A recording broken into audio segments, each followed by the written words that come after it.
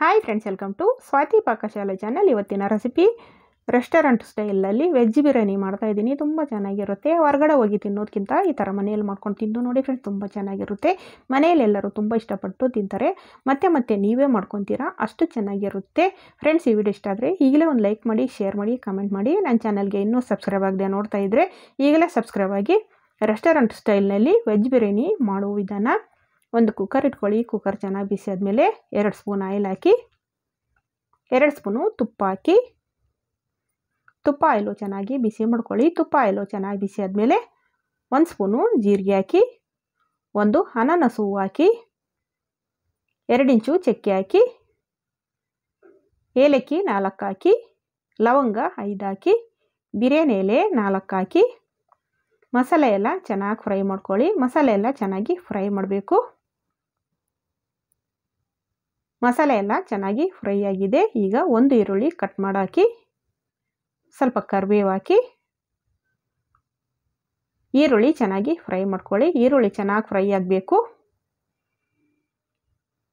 ಈರುಳ್ಳಿ ಚೆನ್ನಾಗಿ ಫ್ರೈ ಆಗಿದೆ. ಈಗ ಹಸಿಮೆಣ್ಸಿನ್ಕಾಯಿ ಹಾಕಿ, ನಾಲ್ಕು ಹಸಿಮೆಣ್ಸಿನ್ಕಾಯಿ ಉದ್ದ ಶಿಳ್ಕೊಂಡು ಕಟ್ ಮಾಡಿ ಹಾಕ್ತಾಯಿದ್ದೀನಿ ನಾನು.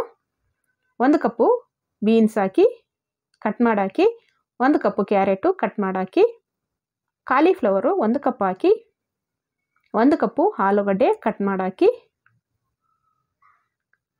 ತರಕಾರಿ ಎಲ್ಲ ಚೆನ್ನಾಗಿ ಫ್ರೈ ಮಾಡ್ಕೊಳ್ಳಿ. ಎರಡು ನಿಮಿಷ ಚೆನ್ನಾಗಿ ಫ್ರೈ ಮಾಡಬೇಕು. ಚೆನ್ನಾಗಿ ಫ್ರೈ ಮಾಡೋದ್ರಿಂದ ತುಂಬ ಚೆನ್ನಾಗಿರುತ್ತೆ. ಫ್ರೆಂಡ್ಸ್ ನೀವು ಒಂದು ಸಲ ಈ ಥರ ಟ್ರೈ ಮಾಡಿ ಫ್ರೆಂಡ್ಸ್ ತುಂಬ ಚೆನ್ನಾಗಿರುತ್ತೆ. ಮನೆಯಲ್ಲೆಲ್ಲರೂ ತುಂಬ ಇಷ್ಟಪಟ್ಟು ತಿಂತಾರೆ. ಟ್ರೈ ಮಾಡಿ ಕಾಮೆಂಟ್ ಮಾಡಿ. ಚೆನ್ನಾಗಿ ಫ್ರೈ ಮಾಡಿ. ಚೆನ್ನಾಗಿ ಫ್ರೈ ಆಗಿದೆ. ಈಗ ಒಂದು ಸ್ಪೂನು ಶುಂಠಿ ಬೆಳ್ಳುಳ್ಳಿ ಪೇಸ್ಟ್ ಹಾಕಿ ಹಸಿ ಸ್ಮೆಲ್ ಹೋಗೋವರೆಗೂ ಚೆನ್ನಾಗಿ ಫ್ರೈ ಮಾಡ್ಕೊಳ್ಳಿ.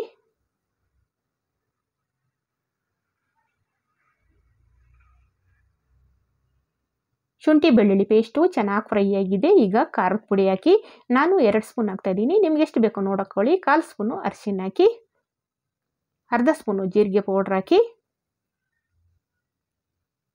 ಎರಡು ಸ್ಪೂನು ಧನಿಯಾ ಪೌಡ್ರ್ ಹಾಕಿ, ಅರ್ಧ ಸ್ಪೂನು ಗರಂ ಮಸಾಲ ಹಾಕಿ, ಎರಡು ಸ್ಪೂನು ಬಿರಿಯಾನಿ ಮಸಾಲ ಹಾಕಿ, ಮಸಾಲ ಎಲ್ಲ ಒಂದು ನಿಮಿಷ ಚೆನ್ನಾಗಿ ಫ್ರೈ ಮಾಡ್ಕೊಳ್ಳಿ. ಚೆನ್ನಾಗಿ ಫ್ರೈ ಮಾಡೋದ್ರಿಂದ ತುಂಬ ಚೆನ್ನಾಗಿರುತ್ತೆ. ಒಂದು ಕಪ್ಪು ಕೊತ್ತಂಬರಿ ಕಟ್ ಮಾಡಾಕಿ,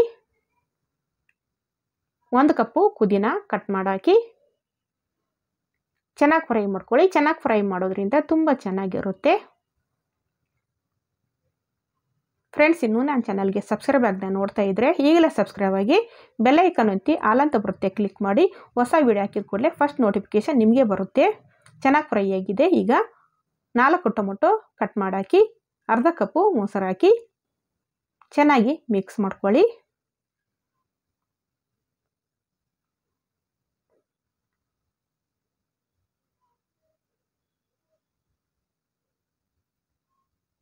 ಹೊರಗಡೆ ಹೋಗಿ ತಿನ್ನೋದಕ್ಕಿಂತ ಈ ಥರ ಮನೆಯಲ್ಲಿ ಮಾಡ್ಕೊಂಡು ತಿಂದು ನೋಡಿ ಫ್ರೆಂಡ್ಸ್ ತುಂಬ ಚೆನ್ನಾಗಿರುತ್ತೆ. ಮತ್ತೆ ಮತ್ತೆ ನೀವೇ ಮಾಡ್ಕೊತೀರಾ, ಅಷ್ಟು ಚೆನ್ನಾಗಿರುತ್ತೆ. ಚೆನ್ನಾಗಿ ಮಿಕ್ಸ್ ಆಗಿದೆ. ಈಗ ರುಚಿ ತಕ್ಕಷ್ಟು ಉಪ್ಪು ಹಾಕಿ ಚೆನ್ನಾಗಿ ಮಿಕ್ಸ್ ಮಾಡ್ಕೊಳ್ಳಿ. ಉಪ್ಪು ಚೆನ್ನಾಗಿ ಹಿಡಿಬೇಕು ತರಕಾರಿಗೆ.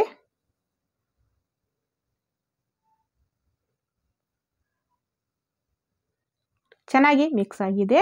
ನಾನು ಬಾಸುಮತಿ ರೈಸು ಅರ್ಧ ಕೆ ಜಿ ತೊಗೊಂಡಿದ್ದೀನಿ. ಎರಡು ಸಲ ಚೆನ್ನಾಗಿ ತೊಳೆದು ನೆನೆಸಿಟ್ಕೊಂಡಿದ್ದೀನಿ. ನೆನೆಸಿಟ್ಕೊಂಡಿರುವ ರೈಸ್ ಹಾಕಿ ಚೆನ್ನಾಗಿ ಮಿಕ್ಸ್ ಮಾಡ್ಕೊಳ್ಳಿ.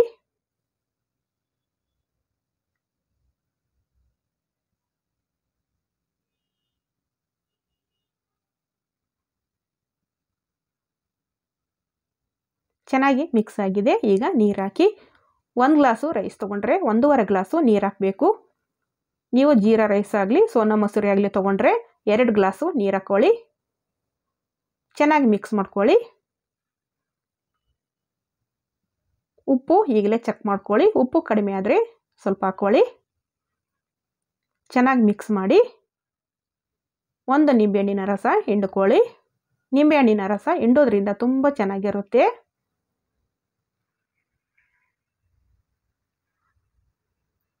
ಚೆನ್ನಾಗಿ ಮಿಕ್ಸ್ ಮಾಡಿ.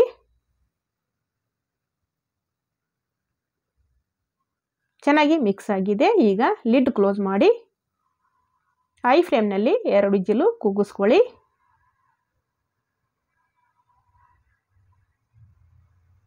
ಎರಡು ಜಿಲ್ ಕೂಗಿದೆ ಕುಕ್ಕರು ತಣ್ಣಗಾಗಿದೆ. ಈಗ ಓಪನ್ ಮಾಡಿ ನೋಡೋಣ. ನೋಡಿ ಫ್ರೆಂಡ್ಸ್ ರೆಸ್ಟೋರೆಂಟ್ ಸ್ಟೈಲ್ನಲ್ಲಿ ವೆಜ್ ಬಿರಿಯಾನಿ ರೆಡಿಯಾಗಿದೆ ಈಗ ಒಂದು ಸಲ ಮಿಕ್ಸ್ ಮಾಡ್ಕೊಳ್ಳಿ. ಇದ್ರ ಜೊತೆ ಮೊಸರು ಆಯಿತಾ? ತರಕಾರಿ, ಸಾಂಬಾರು ಜೊತೆ ತುಂಬ ಚೆನ್ನಾಗಿರುತ್ತೆ. ನೀವು ಒಂದ್ಸಲ ಈ ಥರ ಟ್ರೈ ಮಾಡಿ ಫ್ರೆಂಡ್ಸ್ ಫ್ರೆಂಡ್ಸ್ ಈ ವಿಡಿಯೋ ಇಷ್ಟ ಆದರೆ ಈಗಲೇ ಒಂದು ಲೈಕ್ ಮಾಡಿ ಶೇರ್ ಮಾಡಿ ಕಮೆಂಟ್ ಮಾಡಿ.